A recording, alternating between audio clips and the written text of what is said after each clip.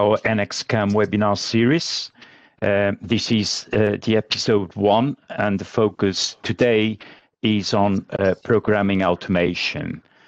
So I will just start uh, introducing um, our today's presenters. So we have Joe Taylor. He's a U.K. pre-sales consultant for NXCAM and additive manufacturing.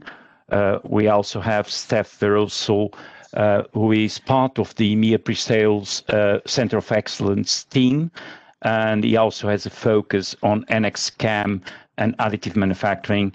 And then it's myself. I'm part of the EMEA portfolio development team with a focus on part manufacturing. So we'll display this slide at the end uh, should you wish to get in touch with any of us.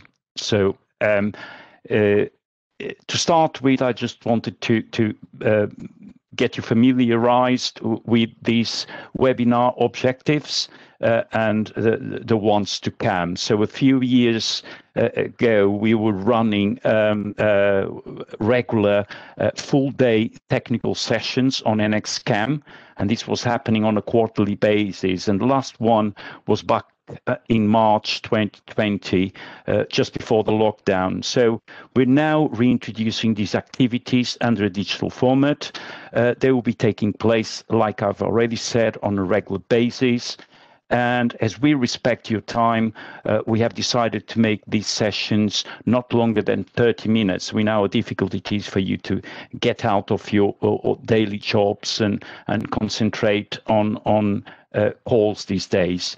Um, also, for additional flexibility, we are running uh, uh, for these webinars um, uh, sessions on both morning and afternoon. And we will make a playback available to those who have registered but have were unable to attend. So each session will have a focus on a specific part manufacturing topic. The sessions are supported by Siemens experts, and the goal is to share uh, recommended uh, best practices. Uh, You'll also have the opportunity to provide feedback on would-be topics when completing the short feedback survey form, which I'll give you more details towards the end. So let's start with today's topics on, again, programming automation. We'll be covering feature-based machining and the ability to recognize machining features on a part model.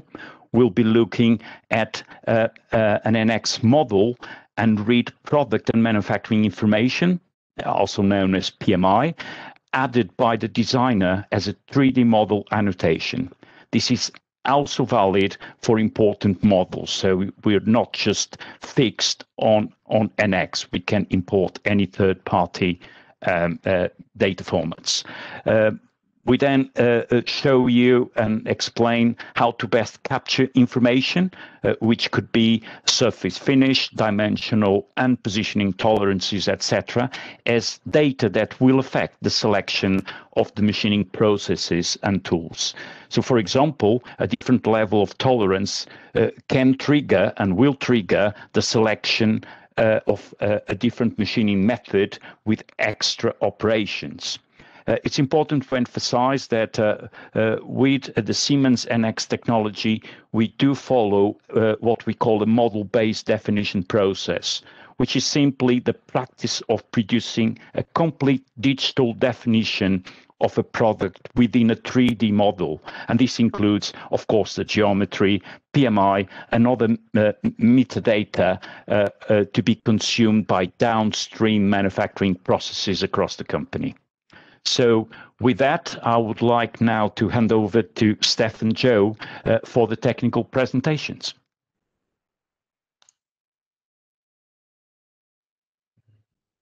Okay, so switching over to uh, to a uh, different computer. So, so um, good afternoon all, and thank you, Pedro. So let me start by showing first the results of the automation I did on this so-called uh, test part. And you see I have a mold here uh, uh, with different sliders, so different dimensions of the slider, so the width and the depth.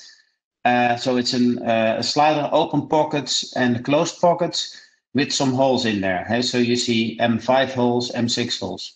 No operations defined yet, uh, no tools defined yet. Uh, the only thing I defined before is my workpiece. Uh, so my part to be cut uh, and uh, my blank material. So that's that's the only thing which I defined.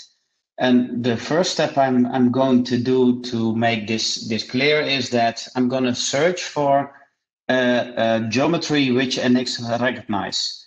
so in this case, pocket slider. That's created as a custom uh, feature to recognize. And um, I'm going to check uh, steps here, and that are just the holes, blind or true holes, with thread, no threads. That's that's all the same.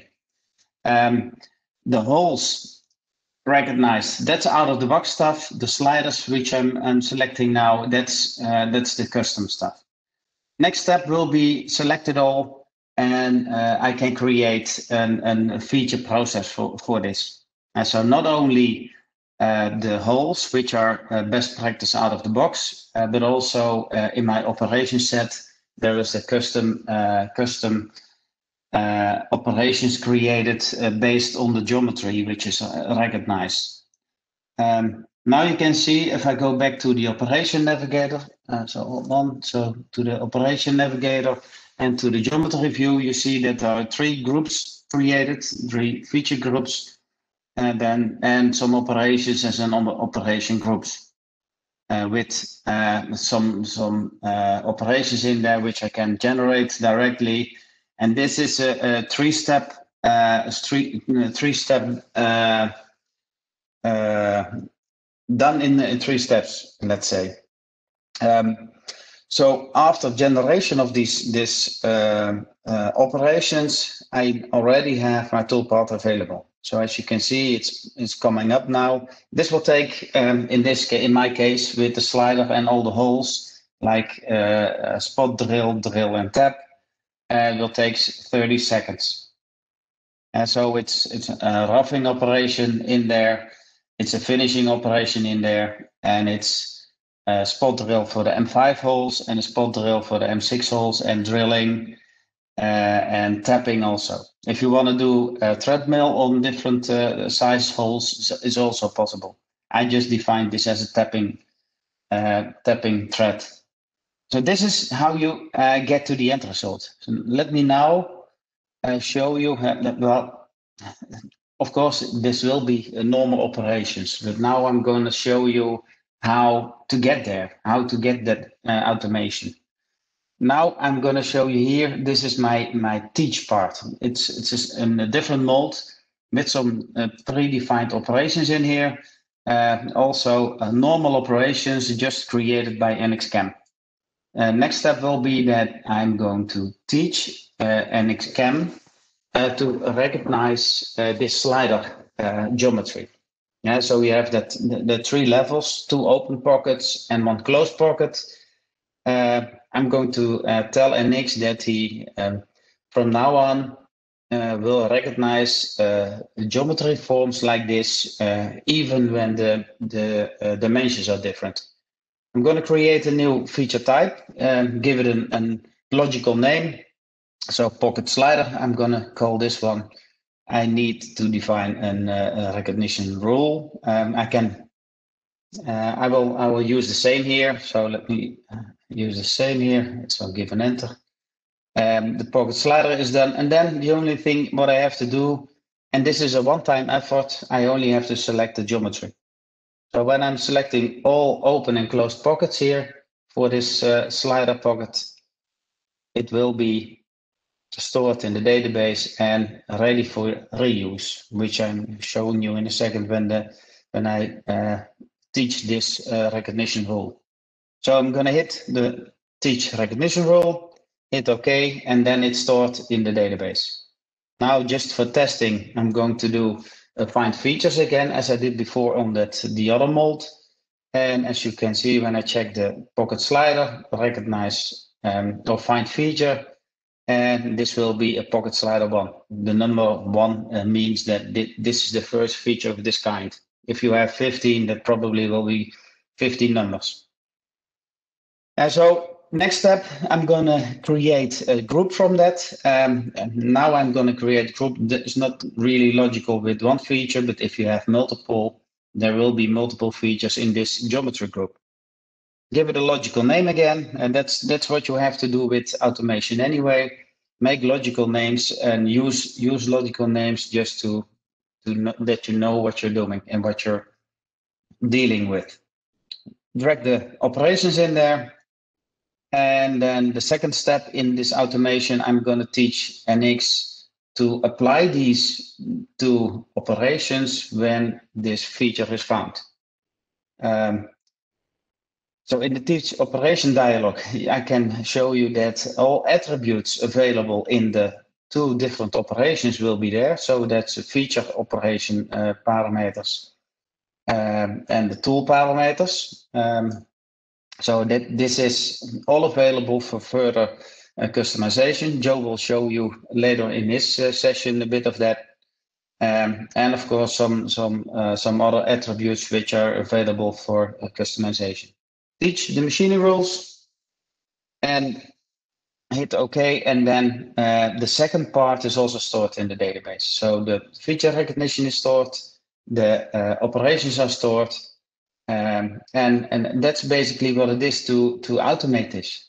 Now, let me show you the same mold. I'm gonna just change the color here. Um, so you can see that it's it is a new test of, of this part. Um, just gonna do this stuff again. I'm gonna show you that it's the same part, uh, but then uh, with the part defined, blank defined. Gonna find the features here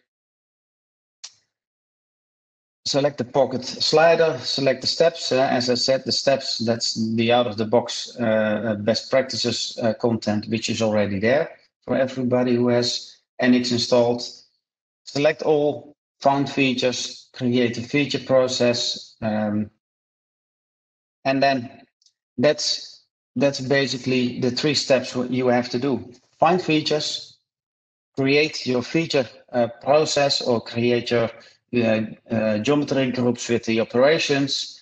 And uh, the last step in this will be uh, just generate them. And that's, let me, uh, that's also uh, something all tools retrieve from the library. Uh, that's, that's done automatically based on the rules you define. Then just generate all operations. And that's uh, it's going to take uh, 30 seconds, and uh, I think it's 35 seconds, and then all your operations are done. And from now on, all slider pockets I'm going to uh, create in future for any of the molds with this same geometry will be recognized. So roughing is done, finishing is done, and the uh, spot drill of the M5, spot drill M6 drilling uh, for M5, M6, and tapping for M5 and 6. And that's it, basically. That's all there is. So over to uh, you, Joe.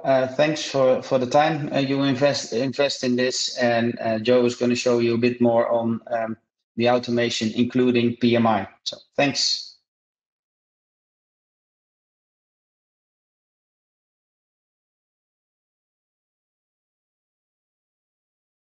Sorry, guys, I was on mute there. So I hope you can all hear me. Good afternoon. Uh, as Pedro has already introduced me, my name's Joe Taylor and I work for the uh, UK team as part of the uh, pre-sales for NX Cam and NX Additive. And I'm going to follow on from what uh, from what Steph's just done a really nice job of, of introducing around feature-based machining, but uh, with a focus on PMI, product manufacturer information, and how that is a, a driver and an influencer in the uh, the operations and tools that are selected when it comes to automatically creating operations against features. So first of all, I'd like to uh, just quickly open up a, a, sample part. This part, I'll share the link to all the attendees later on. You can get hold of this as part of the feature-based machining kit. It comes with everything you need to get started. But as you can see, pretty generic style part. Uh, we've got some uh, PMI on the uh, components, some for surface finish. We've got a H7 uh, limit of fit, some linear tolerances. Uh, and we're going to be talking a little bit more about this pocket a bit later on, this 40 mil wide pocket with a plus 0.6 less nothing tolerance. But first of all, I want to show you a little bit about how we use uh, PMI on, on products in, in NX CAM. So I'm going to create a new manufacturer setup. So that's that's entering the CAM part of the application for those not familiar with NX.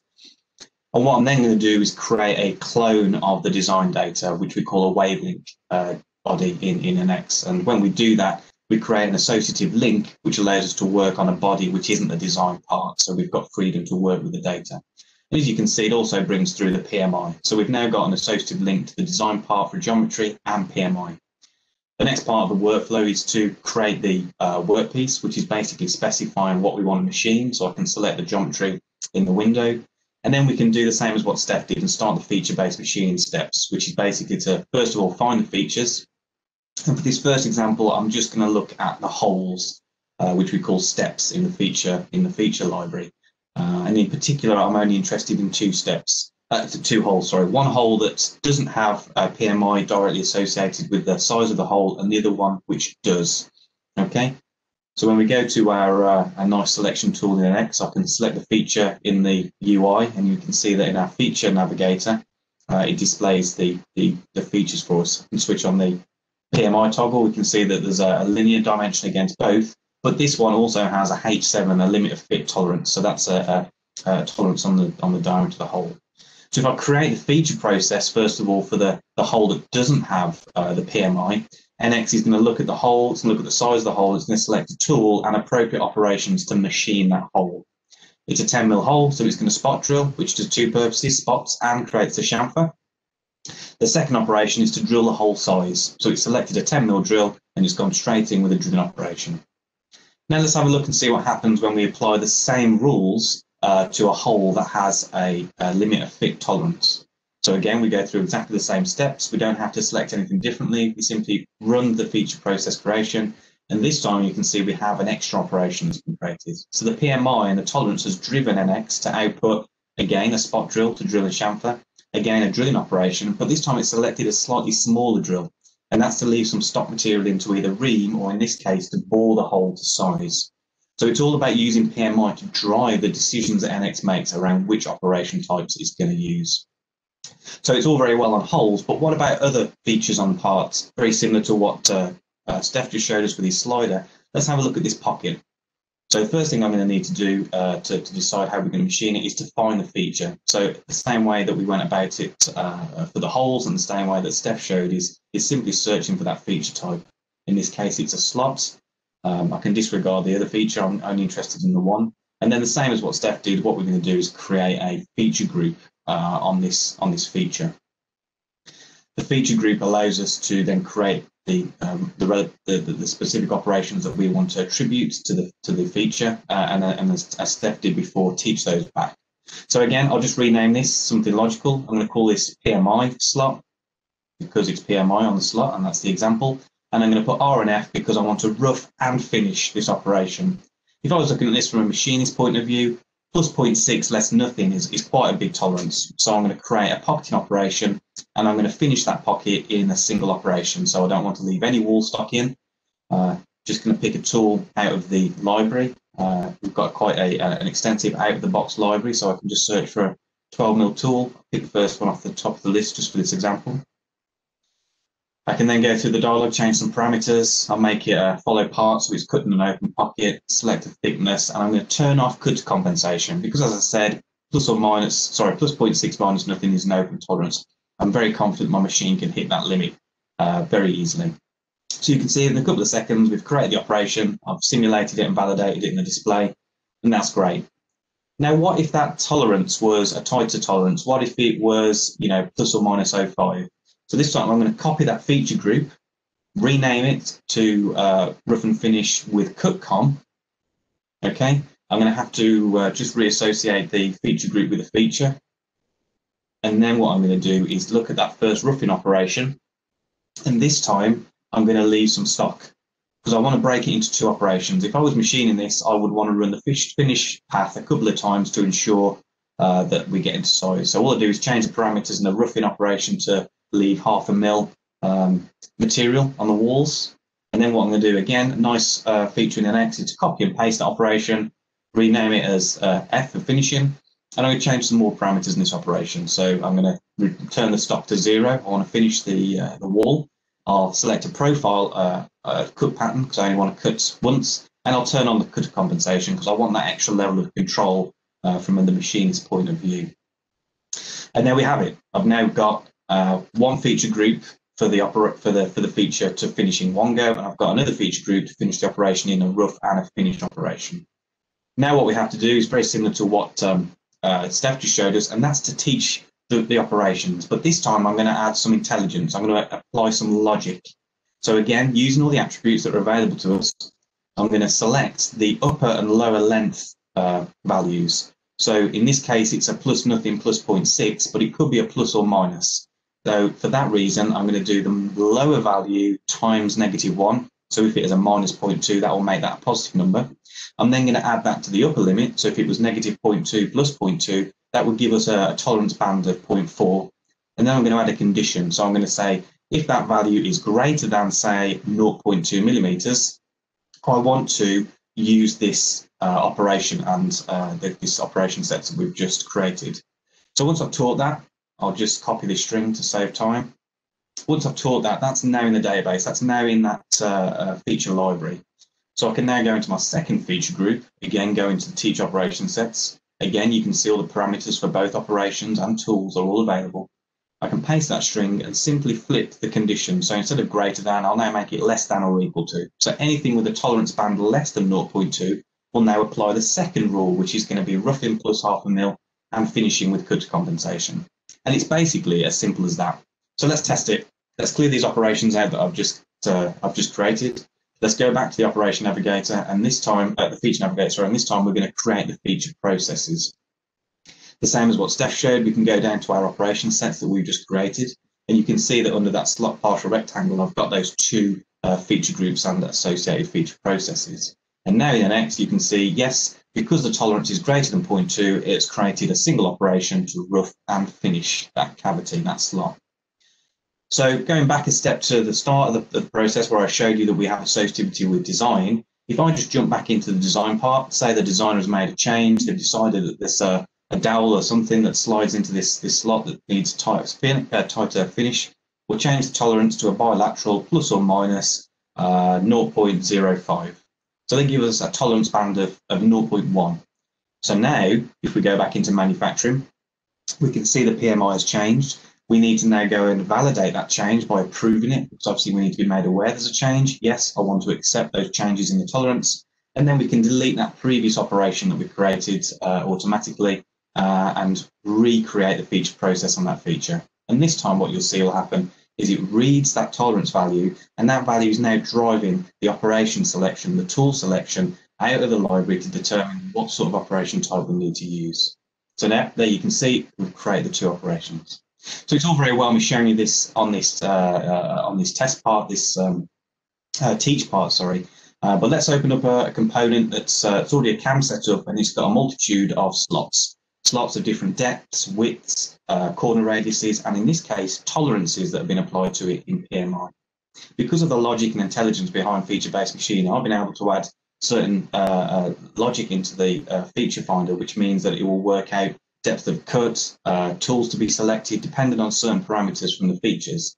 So what you're about to see here is we select all those operations, create feature process, again, looking at the same rules that we just created, and we will almost instantly, very quickly, create a full set of operations for these slots.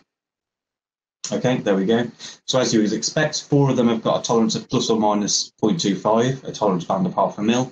Two of them have got a uh, plus or minus 0.5 for 50 microns, so that's a tolerance band of 0.1. So two of them fall within the category of requiring what I would uh, expect to be a, a roughing and a finishing operation, and all the rest are finished in one go.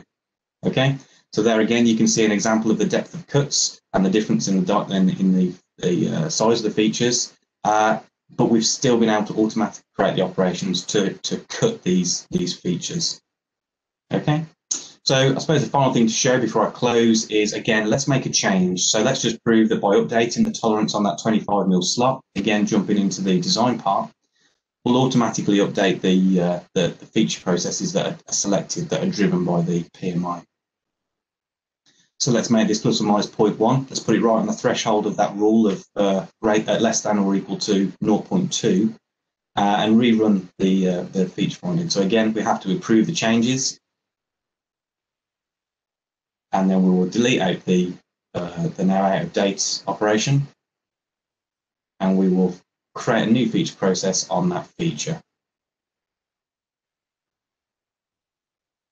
And that's it. Fantastic. We've now created that rough and finished operation.